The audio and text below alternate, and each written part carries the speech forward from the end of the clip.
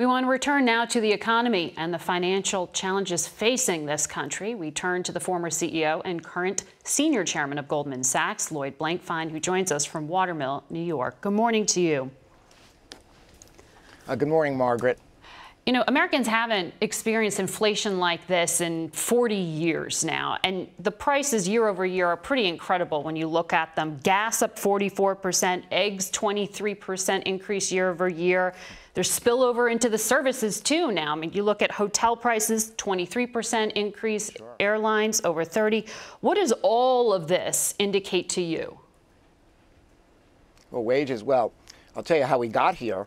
We had this massive exogenous event, COVID, lockdowns all around the world.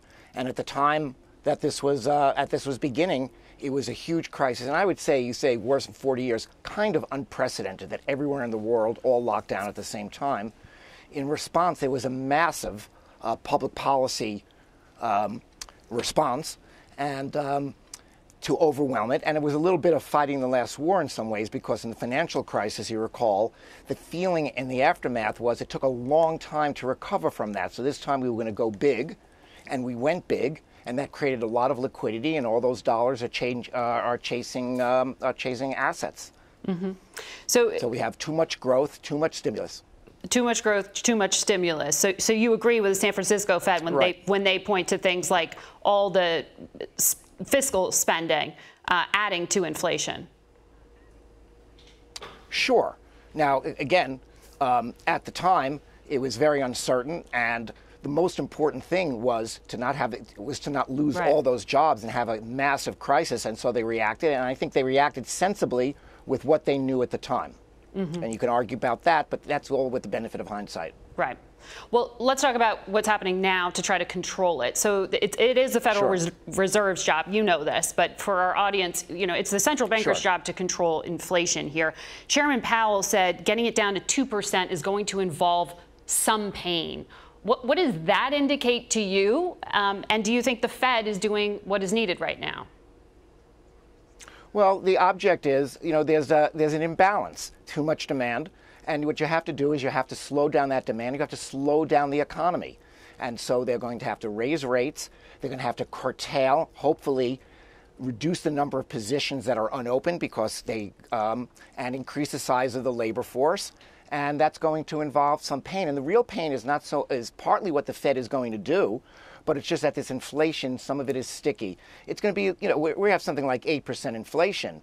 Some of that is transitory. Some of that is transitory, will go away. You know, eventually the war in the Ukraine will be over. Some of the supply chain uh, shocks will go away. Um, but uh, some of it will be a little bit stickier and it'll be with us for a while. And while we're talking about this in the macro sense, overall, for individuals and certainly the individuals at the bottom quartile of the uh, of the of the of the pie sharing, it's going to be uh, quite uh, difficult and oppressive. Difficult and oppressive. I mean, you lived through uh, the last financial crisis. Sure. Goldman Sachs, uh, obviously, key part. You know it very well. When you say it took a long time, it took about 10 years to recover from the last financial yeah, that's crisis. Quite a long time. Yeah. So, given what you're saying is unprecedented, what does recovery look like? Are you saying strap in for more than a decade of struggle well, here? It's well, no, no, it's a little bit different. There was a lot, a lot of different things going on, and there were, you know, it, it's it's always it's always at least a little bit different. This is this is kind of much different. And There you had the banks in trouble, a lot of distress, a lot of liquidity issues, big credit issues. Nobody was sure who was able to pay their their their debts as they arose, and that took. And, and then again, the financial system is the intermediary by which Fed accomplishes its activity. That's not impaired today. Actually, the consumer is starting out at a strong level. Uh, there's a lot of, uh, uh, it's going to be hard for uh, people to, to have savings, but they already have savings. They're not going to necessarily increase it quickly because of inflation, but they're starting in a much better place than we were then. Mm-hmm. And the Fed has very, again, powerful tools. Some of this will transition away. Some of the uh, supply chain issues, again, will go away. Ch- um, China won't be locked down forever. Um, the war will not go, and the Ukraine will not go on forever. Some of the, and some of these things are a little bit stickier, like energy prices. And there are some elements of the supply chain that are going to be a lot stickier. I'll, I'll give you an example. we were the beneficiary for a very Yeah. long time of the globalization of the economy, which made goods and services cheaper because we took advantage of cheap labor in countries. Right. Well, how good do we feel with what we've learned to be relying? And this was part of your last uh, talk uh, with. Um, uh, with Secretary Buttigieg. How comfortable are we now to rely on those supply chains that are not within the borders of the United States Yeah. that we can't control? Do we feel good about getting all our semiconductors from Taiwan, which is, again, an object of China? Do you think we're headed towards recession?